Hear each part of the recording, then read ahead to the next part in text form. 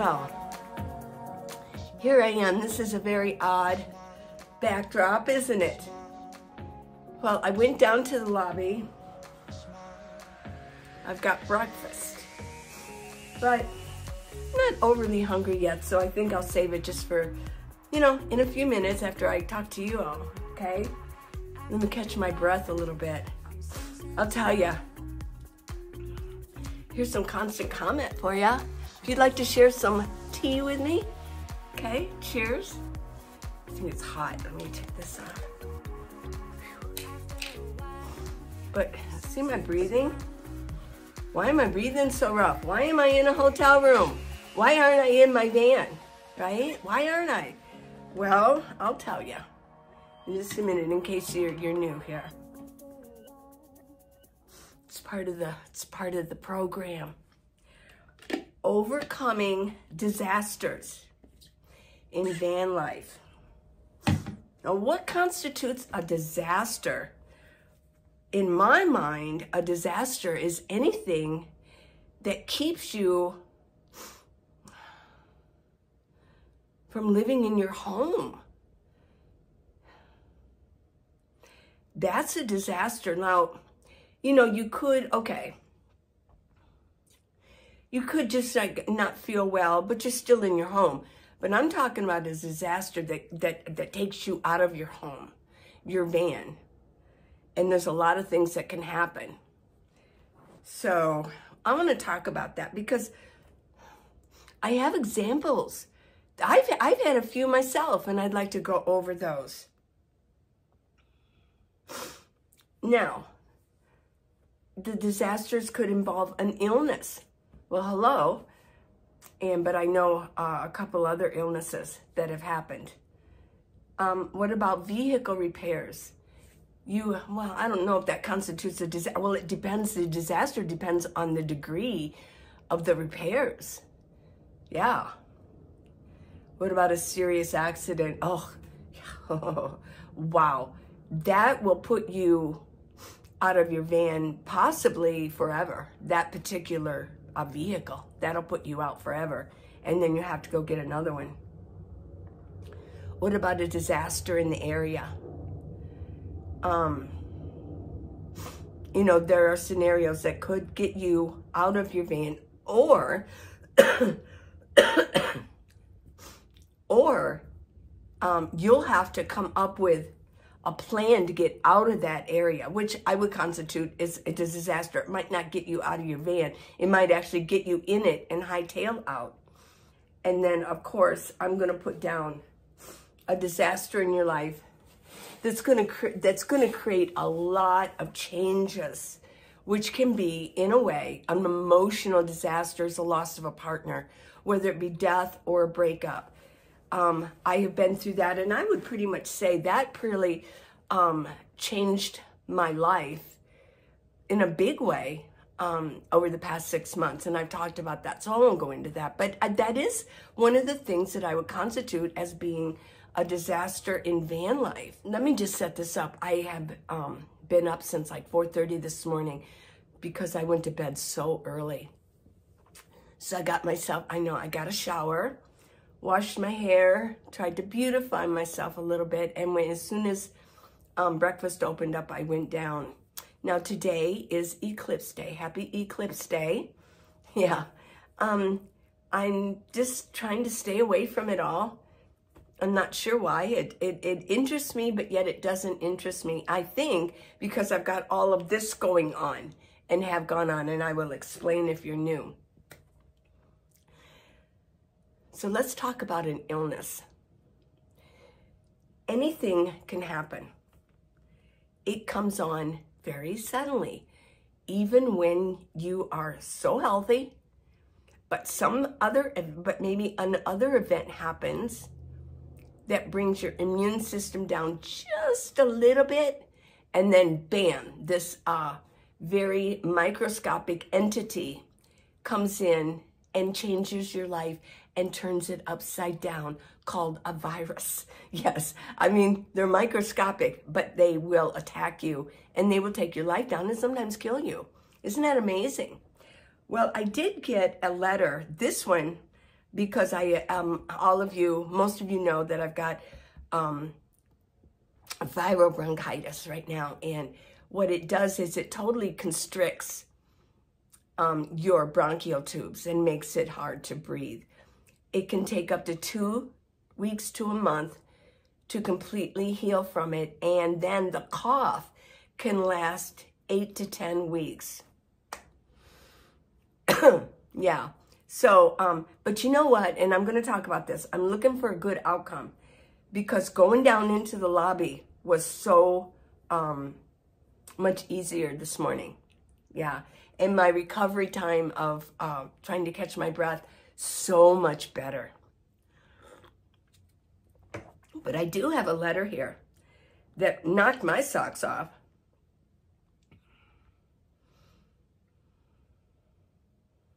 Here we go. This is from Kelly Pierce. Hey, Kelly. Listen to this letter. I was in the hospital for a week from the end of February to the beginning of March with menin meningitis. Because I mentioned meningitis. In 1980, I had spinal meningitis. That was the sickest I've ever been in my entire life. I only remember the last four days that I was there. Yeah, I can imagine. It came out of nowhere. See, it just comes out of nowhere. My meningitis is it's a virus. And it's floating in the air. Yeah. It's easy to catch. When somebody gets it, it's easy to catch from somebody else. And if children get it, it can be devastating. They can become um, handicapped, disabled. Um, yeah, it can affect. I knew one gal in college the reason she was she was my, one of my um, ASL uh, sign language instructors.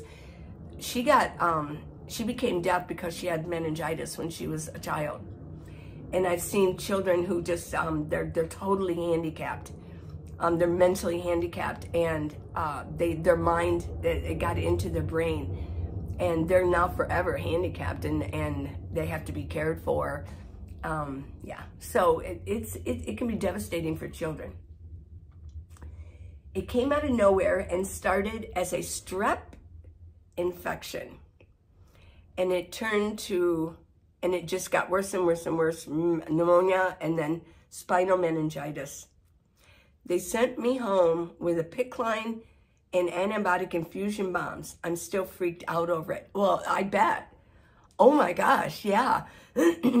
so I, I assume that you're in a house, but if you are in a um, if you were in your van and you were van van, you didn't mention that. Wow. I mean, you know, let's all discuss what could she have done. Now, I also want to talk about my wonderful, honorable, respectful friend, and I would say one of the most respectful men in the in van life in the nomad world is Max Dollarite. He was one of the first first dudes I met um, he was in a white minivan, and I was my first time in um, and in Quartzsite. And so this was when I first, um, yeah. And uh, I didn't have my YouTube channel or anything, but I met him and we became good friends. So we've been friends ever since. Well, just this, uh, not too long ago, just a few months ago, he had, we talk often, and he had mentioned that he felt really tired and sometimes he felt a little dizzy, like he was going to pass out. Well, he went to get it checked out. Eventually he did. And he's, he's a veteran, so he went to the Veterans Hospital and had it checked out. It turns out he needed a pacemaker, you know? And it was funny too, because just on my last video, I talk about the heart biorhythmic um, electricity that comes from the heart. And we have this three foot field around us of, of the energy from our heart. It's an electrical organ. Well, his wasn't working as well. So he, and he lived in his van. He lived in his minivan, but he still had, he had the surgery. How did he handle all of that, being a nomad? And then actually going into recovery time because he had to recover for a while. Well, how did he handle that? He has a huge network. He calls them his tribe. Um, he has a huge network of other nomads because he's such a, he's an honorable man. And while he also has a lot of friends because he's in there helping them too. He is right, he is right there to help anybody that needs help. Yeah, it, it, he's amazing. He is an amazing man. And I am happy to call him my friend. I really am. So he had, to, there, there was a long uh, progression of events that had to happen and his healing and then moving, but he had help all along the way. That was his story. He had um, a pacemaker put in. He had surgery while he was a nomad. Now, so it can happen. But these things are, this just cropped up out of nowhere. You know, he knew he wasn't feeling well, and then bam, he was put into surgery very shortly after they found out he needed one. Now, for me, it was after, right after I met Max, and that the season of uh, Quartzsite, you know, the RTR, that season was over. Um, I was in Lake Havasu, and I became serious, seriously ill. And in the middle of the night, I had to drive to the hospital. And it turns out that turned out that I had appendicitis. Yeah. Um, so there's kind of a disaster. I mean, you know, like uh, you wonder, like, is my van okay out in the parking lot? Is you know, all of my belongings are out there, and um, how am I going to get get done? What if? And the doctor told me that surgery can go many different ways. He said, You look really healthy. You know, you're not overweight. So the surgery probably is going to be okay. But if it isn't, it's going to take weeks for you to recover. Well, the surgery went well. And I was out of the hospital within um, two days. And then I found some BLM land and I had to recover there for another two weeks because um, the surgeon wanted to see me again and just check, make sure before he could give me a clean bill of health. So I had to like hang out on uh, BLM land near Lake Havasu by myself. And I did it. So, you know, these, the, there, these things, um, these things can happen. These little disasters can happen. Now, what's another disaster that happened just with Ma? Um, two years ago, my van, I was in Quartzsite in my 2006 Kia Sedona um, was just smoking. I mean, there was, I had it towed into a mechanic in Yuma and he looked at it and he basically said, I can't do anything for you. It's too far gone. You have too many leaking gaskets. I know. So, you know, what was I going to do? Well, my partner at that time was, um, I found a, I, I, I was so devastated. I mean, I, what am I going to do? What am I going to do? I'm stuck out here in BLM land. What am I going to do? Something has to happen. Well, I, I just went right on, on, you know, and looked online and there were a couple of minivans to look at in Tucson. So he drove me to Tucson and I had to take a big chance. It was a salvage title and that's the one I'm driving now. So everything turned out good. But yeah, so that was a disaster for me. I'm stuck up in BLM land and my, and my, and my van doesn't run. What, do, you know, oh my gosh. Um, so now here turned out, here's, here's another thing that turned out. I didn't even think to look at the mechanics in, in Quartzsite. And there is a wonderful place. It's called A1 Best RV, um, yeah, auto RV um, service yeah, they were good. And they were very nice to me. And they really helped me out. Oh my gosh. So, you know, there's another disaster that can happen. You know, you're good. if you want the nomad life, you just really need to know that not everything is um, rainbows and flowers. Oh my gosh.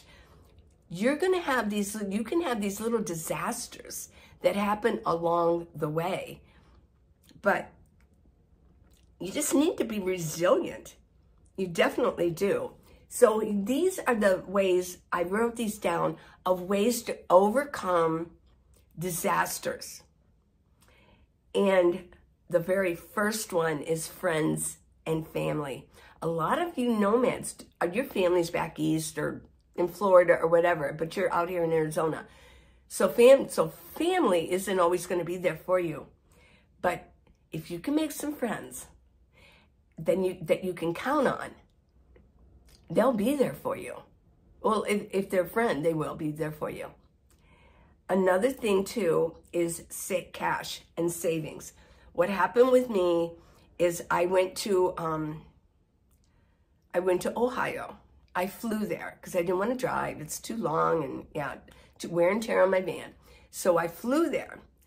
I really was apprehensive about going. I think it was a premonition because since I went, my life has turned upside down.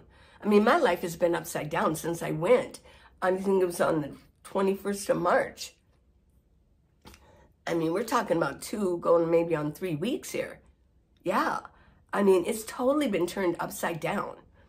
Um, uh, my grandson had a bad cough, and I think the flying and just being out of my elements, different environment, it, it brought down my immune system, and bam.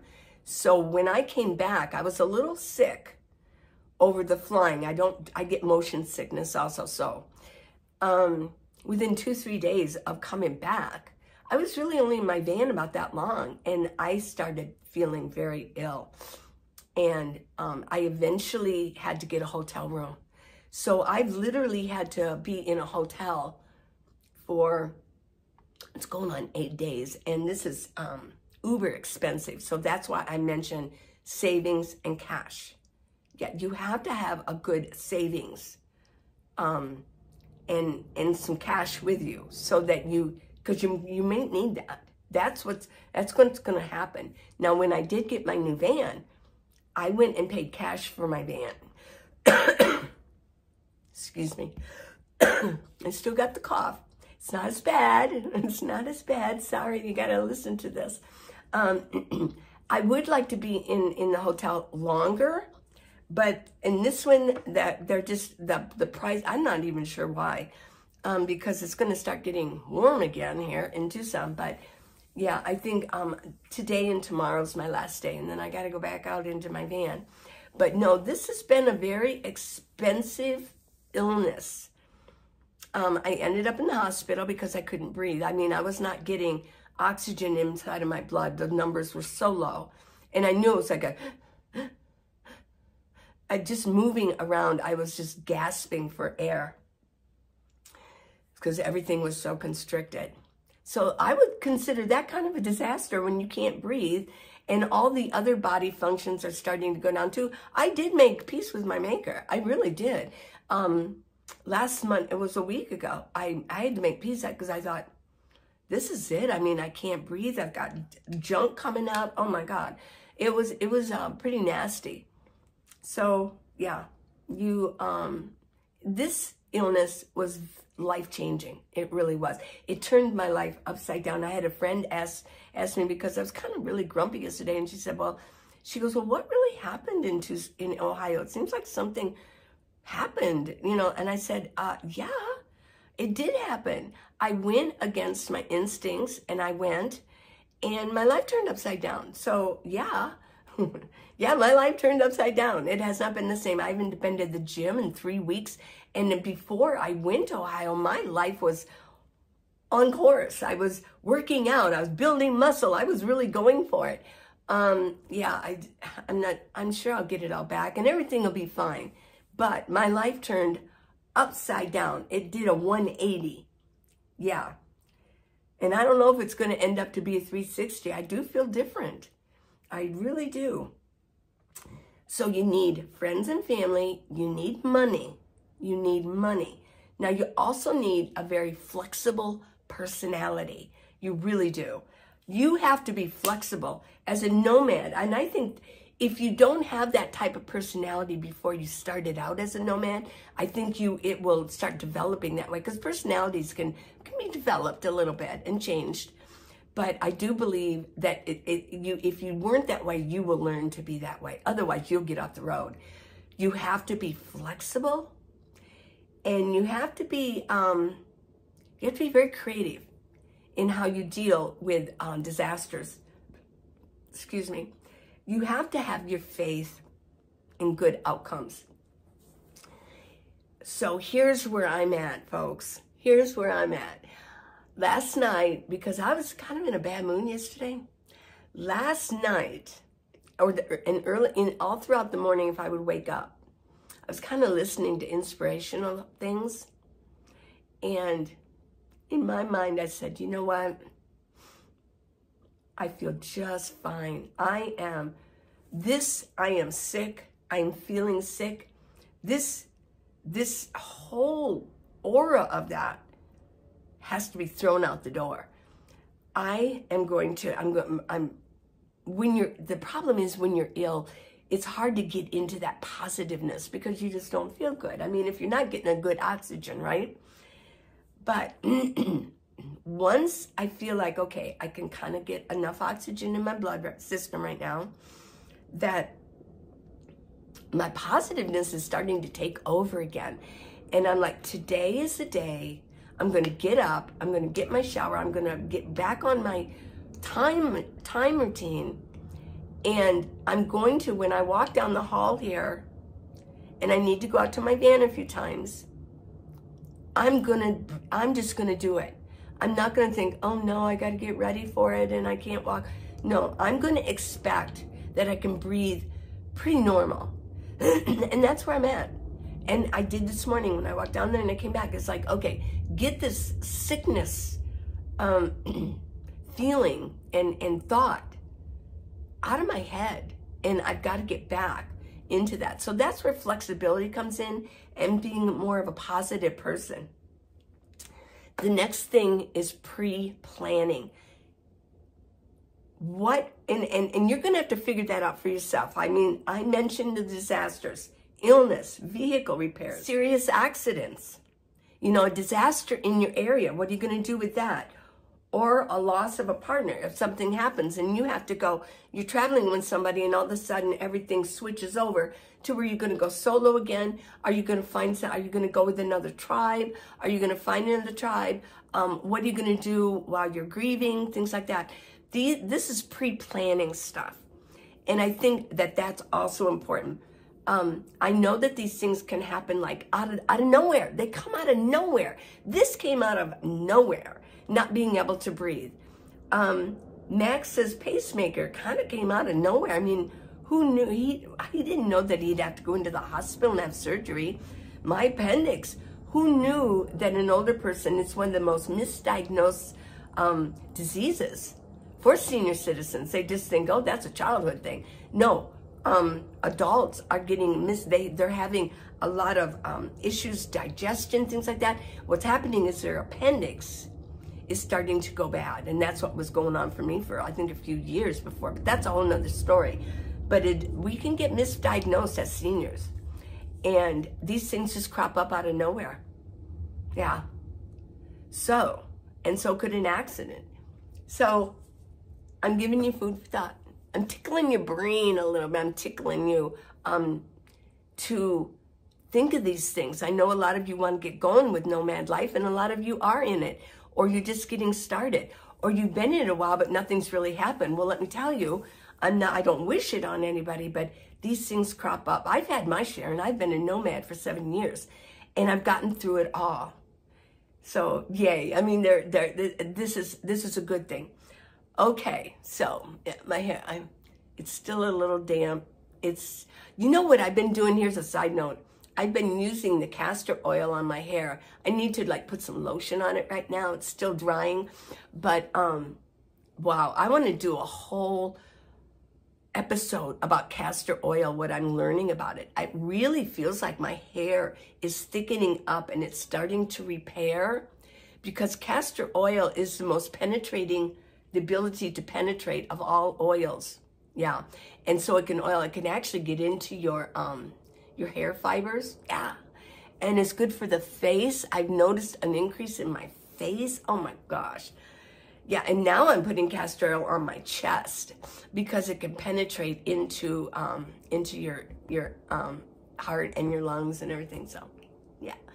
Okay, castor oil, but I want to do an episode on that. So, I'm to say goodbye. This is uh, Eclipse Day. Peace.